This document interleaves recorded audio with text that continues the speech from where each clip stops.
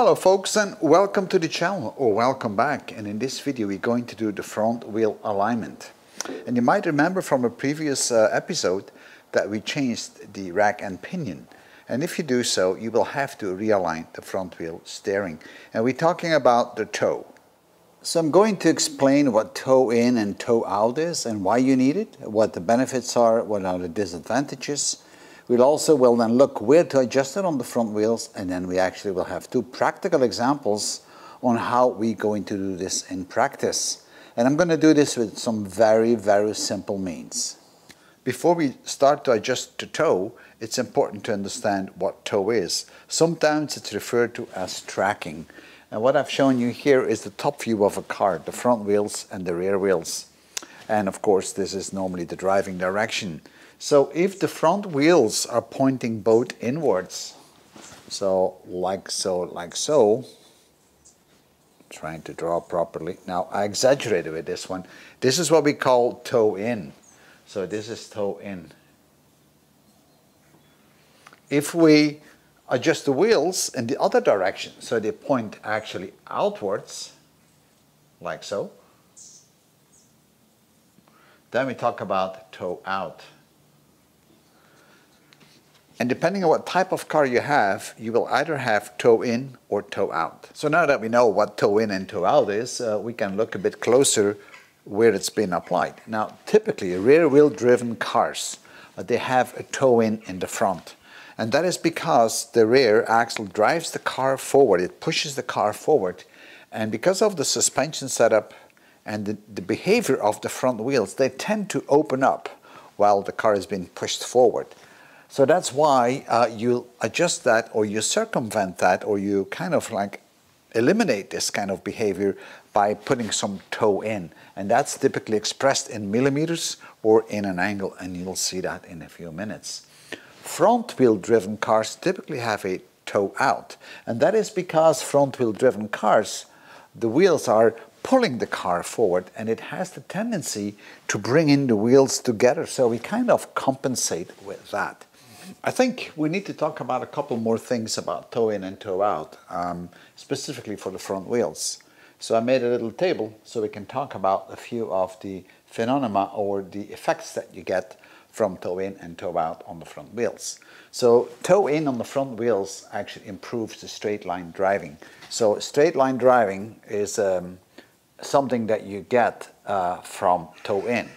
Uh, so, and it creates more stability in a straight line because the left wheel pushes to the right and the right wheel pushes to the left. So it kind of keeps that car very nice in a straight line at high speed. Uh, so this is really good. If you were to apply toe out, it would just be the opposite. You're going to have a very itchy kind of straight line driving. It's going to be hard uh, to keep a straight line.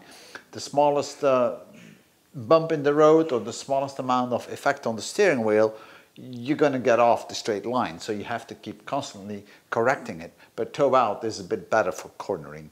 Um, so uh, it's not very good, not good uh, for straight line. So that's why I think uh, it's good to have toe in uh, for straight line driving. The other problem that we're having is that uh, because we have toe in or toe out, uh, we go into kind of heat up the tires. So we're going to have heat because the tire is kind of rubbing on an angle over the road. So, and it's valid for both, right? So we have that issue on both sides. So heat can be a good thing for your tires to keep them up to temperature on the racetrack. You want to have a lot of heat on the tires. So toe in or toe out will actually cause additional heat. And the last point that we have with if you apply either toe in or toe out is it's going to be wear, wear and tear. The more toe in you provide, the more wear you get on the tires. And the same thing is to, true for the uh, toe out. So you're going to have wear. The wear will be on different sides of uh, the tires. If you do toe in, you're going to have it on the outside. If you do toe out, you're going to have it on the inside of the tires. So that's the difference between the two. So as you can see now, it is important that you do align the front wheels in the way it's been designed by or specified by the constructor of the car. And of course, if you're on a track, you will adjust these factors depending on the track you're driving on.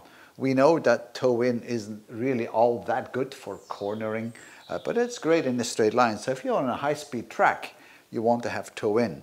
And you might want to have quite a bit of that just because you want to have the heat and you don't really worry about the wear and tear at that moment in time.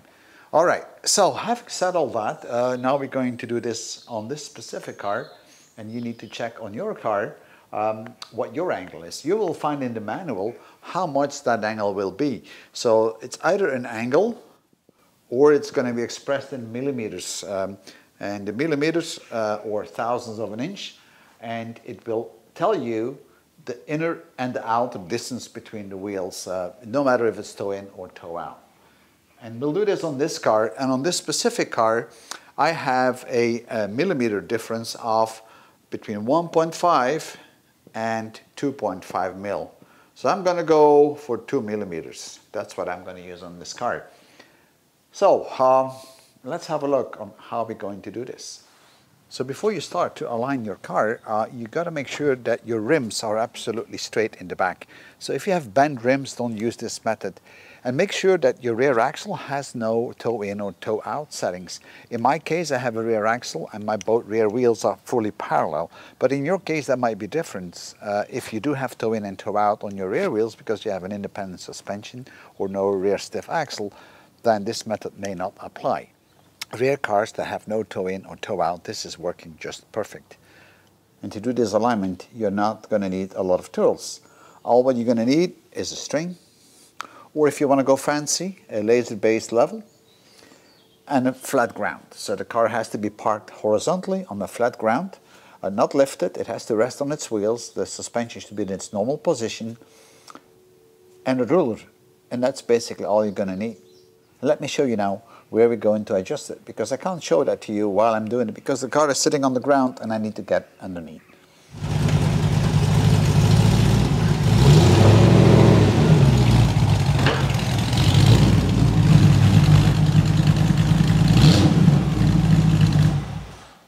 If you have a rack and pinion in the front of your car, then on both wheels you will find the pivoting point and the tie rod. And the tie rod has kind of an indent so you need to put some pliers on there to rotate this left or right to move the wheel in or out.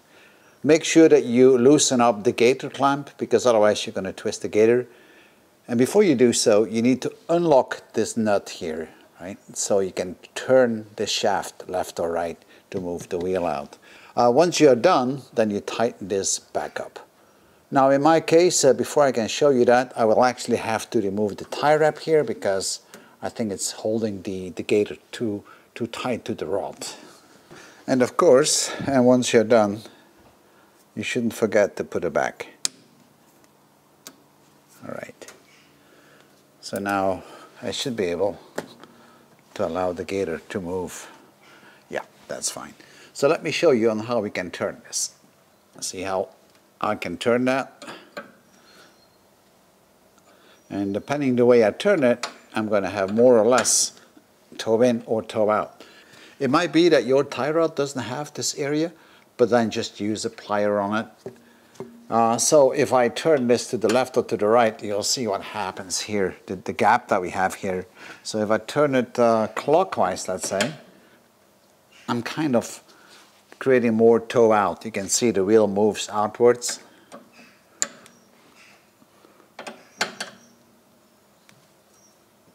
So this is how you adjust it. Not very hard. So this is what I'm going to do when the car is flat on the ground.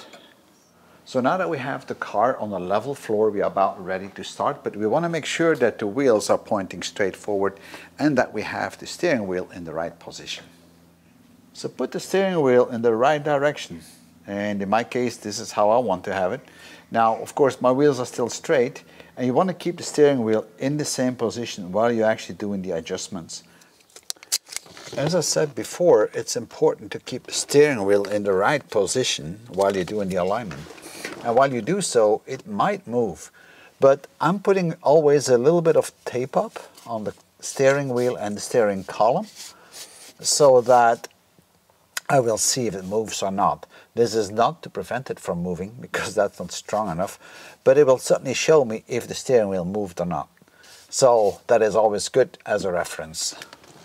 All right, guys, so we're about ready to start uh, the alignment. Uh, but before we do so, I want to explain you on the board on how we're going to use that little string that I showed you, that yellow string. It could be any string, but make sure it's a very fine one. That's important. Or you can use the laser if you want. Uh, if you have a level with a laser on it, use that as well. It's the same principle. So on the top, I have a side view of the car, and it's important to know that we're going to pull the string through the center of the wheel hubs, and then we tie it down to some kind of a support. It doesn't really matter what that support is as long as it is very, very solid. And it's important that it goes through the center of the wheel hubs because these are the points we're going to measure. Right? So keep that in mind. So this is going to be X, Y, Z, and K. These are just my points. Huh? So you could call them whatever you want, but I'm using those as an example. If you look at the front of the top of the car, uh, then you would see that we have a fixing point here, we have a fixing point here. And between those, we have actually pulled that string.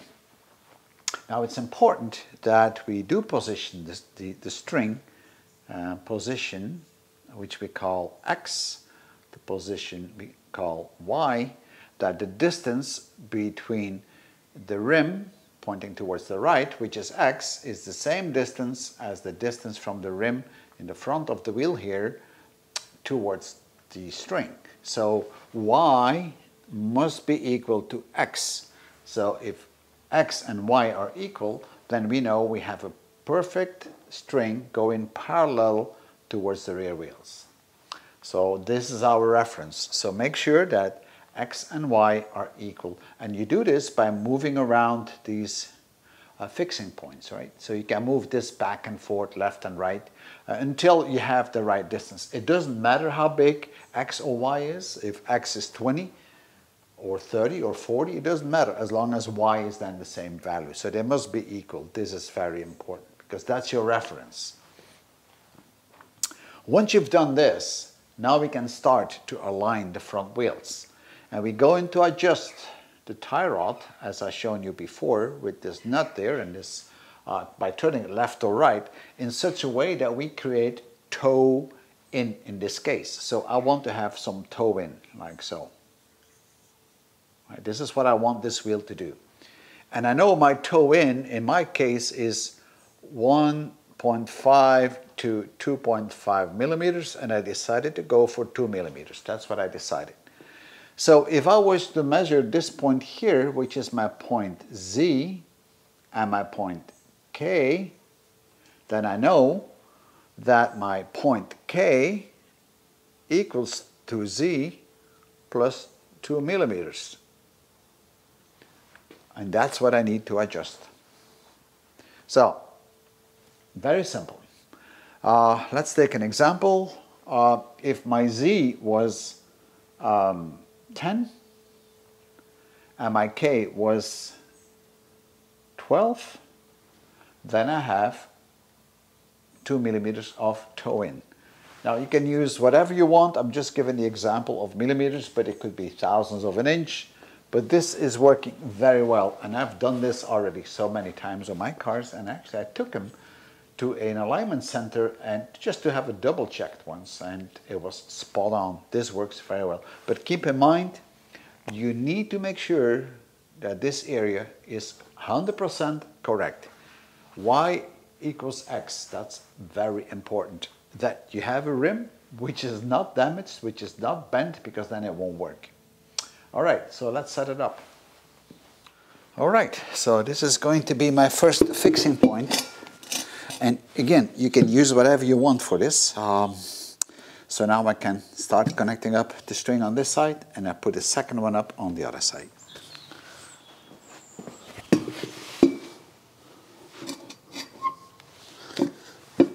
All right.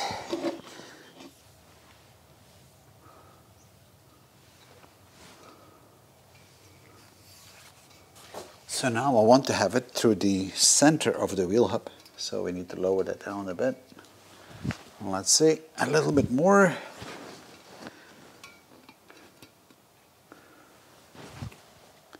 That looks about right by now. Okay, that will do. So I have the strain at the right height, both at the front and the rear wheels. So now we need to make sure that everything lines up on the rear wheel. So now let's measure the distance y and x. So from the rim to the rope, and this is 19.3, and let's check it on the other side. And again, uh, you have to do this very accurate. This is 19 and this was 19.3 so I need to move this in a little bit so this is the last check on both sides I have now 191 so let's measure what we have in the front rim and see. So this is roughly about 19.7 and this is 207 so that's quite a bit. So we need to adjust this. I have way too much um, toe in here so uh, let me go and adjust it and then we'll see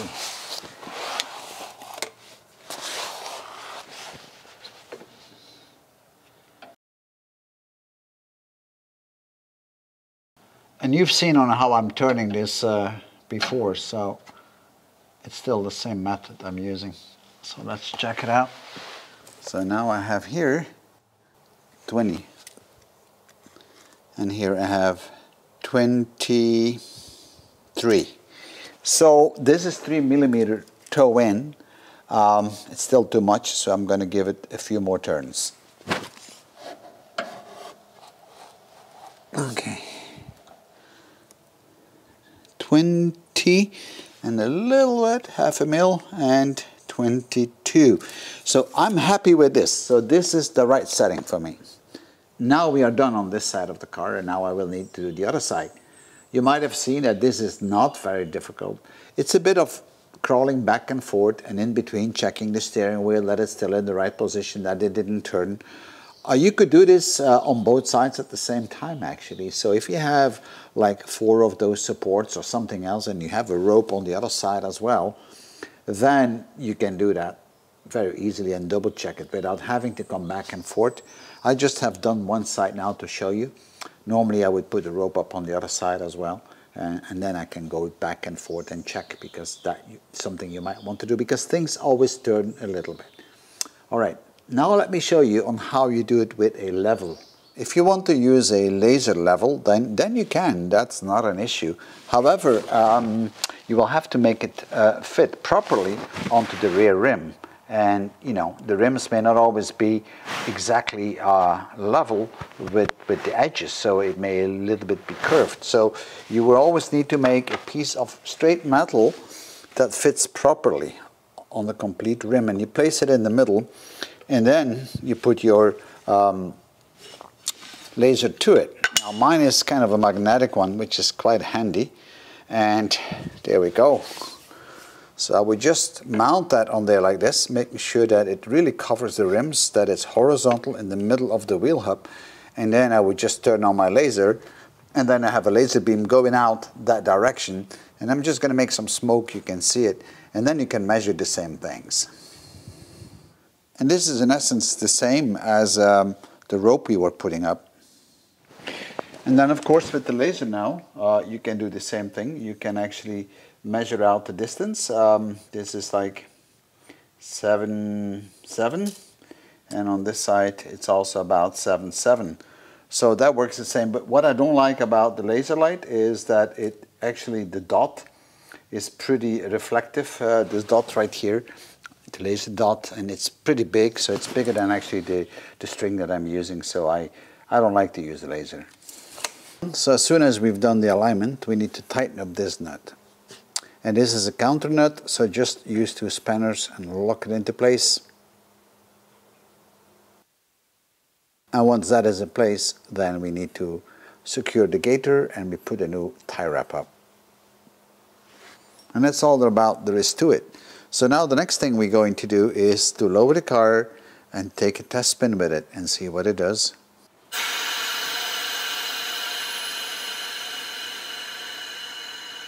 So now that we have finished with the adjustment of the toe in, we can take the car for a test spin and try to drive it in a straight line and feel what the car does. If it holds well the straight line, then your alignment is good. If it pulls to the right, then you probably have too much toe in on the left or not enough toe in on the right. If it pulls to the uh, left, then it's just the opposite. You have too much toe in on the right or maybe not enough uh, toe in on the left.